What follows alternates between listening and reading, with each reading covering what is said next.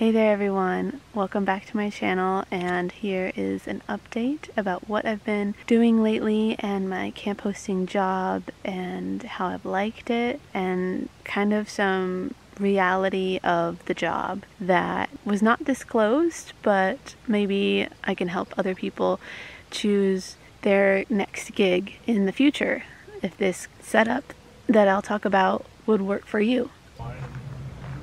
Back in February, well, back at the Big Tent event, I was looking at all the camp hosting opportunities and I had kind of a little bite with one of them, but then that one didn't work out. So I went again online and looked up camp hosting gigs. I picked the state that I wanted to be in and just kind of searched around until I found an opening. And being that it was February, there wasn't too many um, options open. This particular company was uh, just kind of immediately snatched me up. Um, didn't have to have any real qualifications, just needed to pass a background check and a driver's check. So, really, if you have those two things in your favor, then you are already qualified for the job. The other qualification is whether you have a rig that you can stay in. So, I sent a picture of me in my van and they were okay with it. You can also have a trailer, uh, RV, um, anything. They just want to know whether you need water and whether you need electricity if that's a mandatory thing for you. You may not have it directly at your site, but they may put you somewhere where you can be within a few miles of another campground that has electricity or Wi-Fi or whatever you would need, have to need.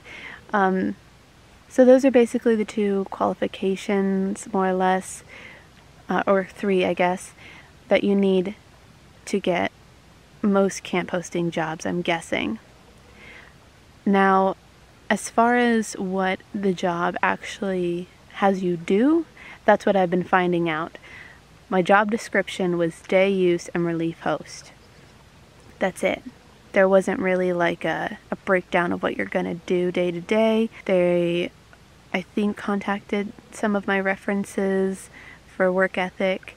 And uh, as far as on my end goes, I filled out the paperwork online that does the background check and the handbook and things like that. So maybe if you look through a handbook, it'll give you more of a job description. But when I got here and I got to training, it was kind of how to deal with campers, and they didn't go in depth on how cleaning goes, how your daily schedule goes. They just did like orientation style things, uh, paperwork, and your rights, those that type of thing. So you don't actually get too much. I mean, they go over how to check in a camper, uh, the paperwork, and the website that we would be using or that campers would be using to reserve sites. So they go into that type of thing. And again, I don't want to say my company because I'm working for them currently. I don't want to cross their social policy, so I will not be disclosing who I worked for until I am finished working for them. I'm only speaking from one point of view, but I'm guessing it'll be either this organized or maybe much less organized. Getting here on the job, first couple days, kind of in the dark, uh, don't know what I'm doing, don't know what's expected of me, don't know what tools I have, and don't know who's going to be coming and helping. Then we look through what has been given to us, our resources, kind of drive around to the different sites. We've got several campgrounds in the area that we kind of are all helping out with each other, and then getting with our managers to see what we need to do.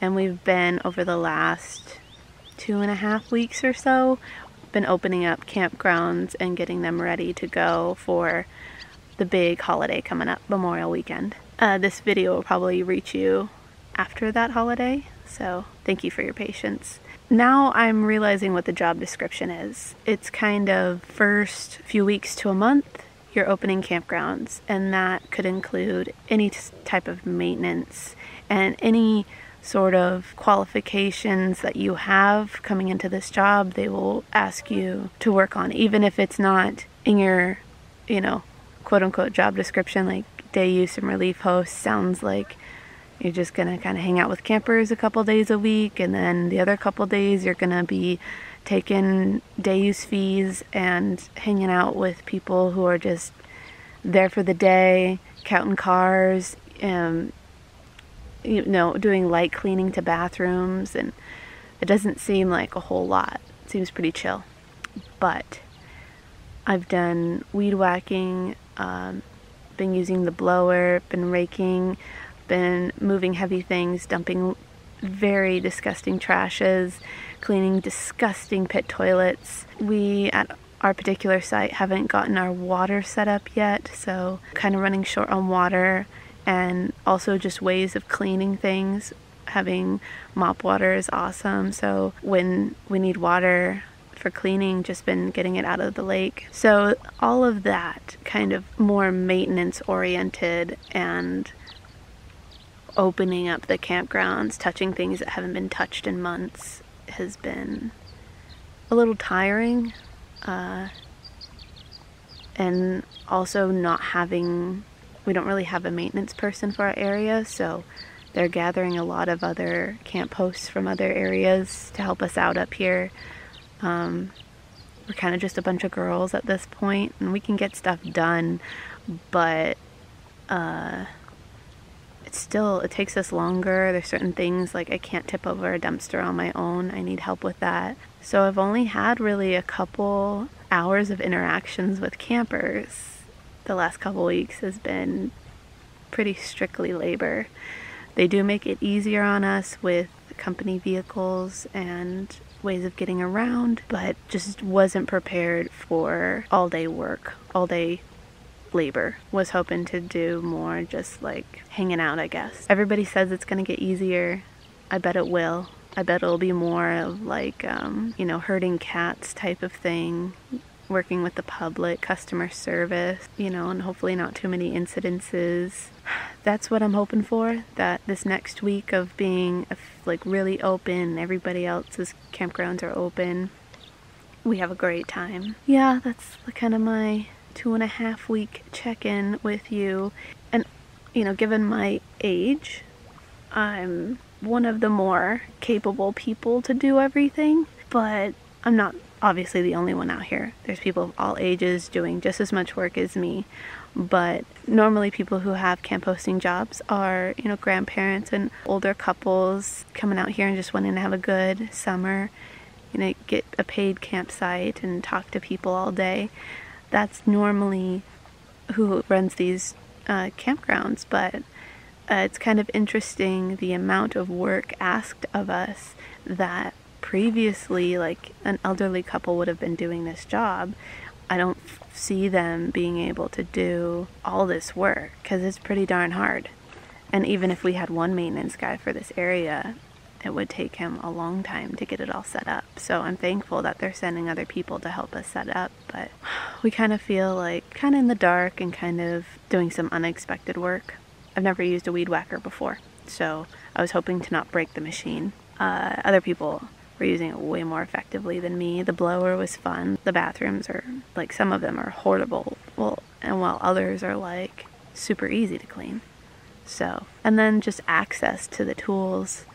I'm lucky that I'm at one of the hub campgrounds, but there's other campgrounds that have had people, you know, had their camp host for a couple weeks as well, and they just haven't been able to touch their campground because they didn't haven't been allowed to take tools up to them or haven't gotten any tools to take up to them all of this, I'm just saying, just wanted to give you guys some ideas about what it's like being a camp host, especially beginning of season.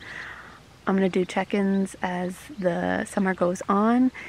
And, you know, please ask questions, but I don't want any references to my location or who I work for, just because that's what I'm asking of you guys. And you guys are super awesome and helpful and always, you know, there supporting me. So thank you for hanging with me as I have a job. this is, I had a job last summer, but I didn't really fill you guys in on it because it wasn't really nomad related. I tried to do some other videos to keep you entertained, but this summer I'm doing something pretty nomad related, so I'll I'll try to answer as many questions as I can and see what happens.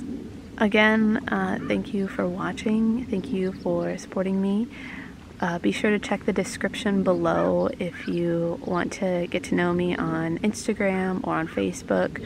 I'm also on Patreon if you'd like to become a patron of mine and help support me making more videos and getting uh, updates there from me. Uh, sometimes I put little special things over there. Also, check the description for links to my merchandise. I want you to uh, wear some cabbage and egg swag if it it suits you.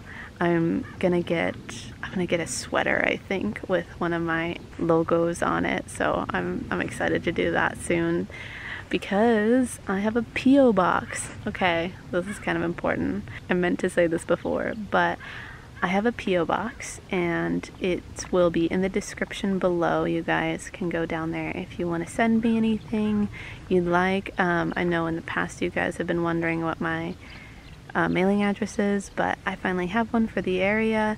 You can send me whatever you'd like there. And I'll be doing a postcard send out again soon. So be looking for that. Alright, guys, stay curious, and I'll catch you in the next video.